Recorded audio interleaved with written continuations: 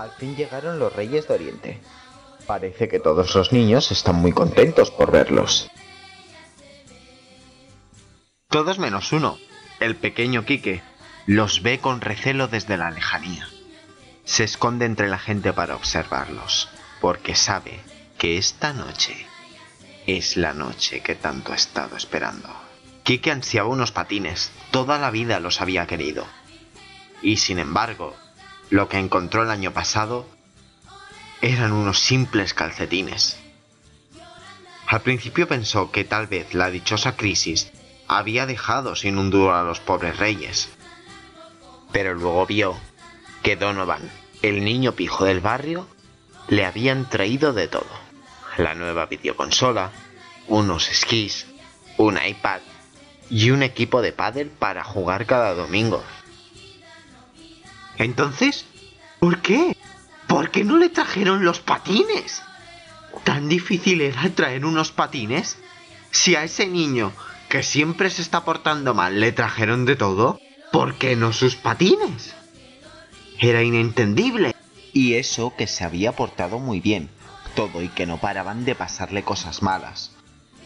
Por ejemplo, su papá se marchó de casa sin decir casi ni adiós, y desde entonces su mamá estaba muy triste y a veces lloraba a escondidas.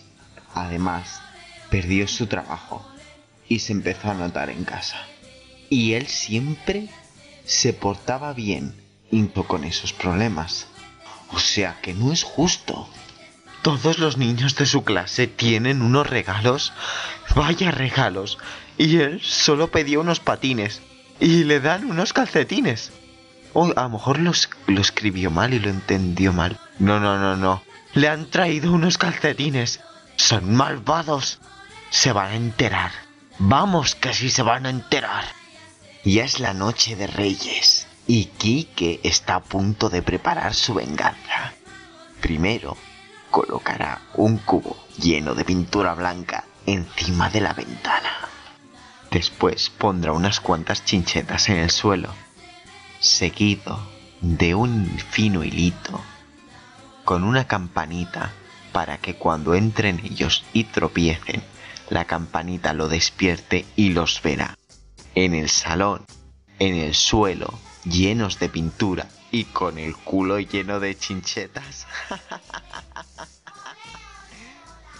bueno, ahora se va a dormir un ratito y cuando oiga la campana se irá corriendo a ver a sus amigos, los queridos Reyes Magos.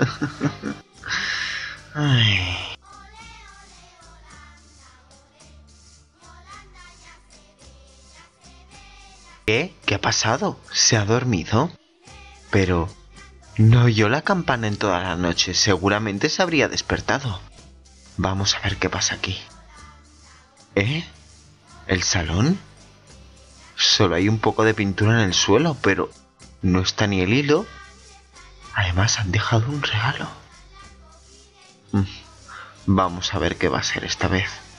¿Unos calzoncillos? Hay una nota. Aquí pone, espero que te combinen con los calcetines del año pasado.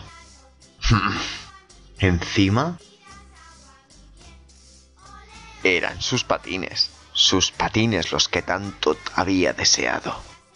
La verdad es que este año los reyes han portado muy bien, porque además de sus patines, a su madre le han regalado un nuevo trabajo y ahora las cosas van a ir muy bien pero que muy bien. Pero una cosa siempre tendrá Kike en mente. ¿Qué es lo que pasó en esa sala? ¿Cómo es que los reyes no tropezaron o tropezaron? ¿Y cómo hicieron desaparecer el hilo y la campana? ¿Y cómo no despertaron a Kike? Eso es algo que nunca sabremos. Y nadie sabrá. O quizás sí. Podríamos preguntarle a la madre de Kike. ¿Quién sabe?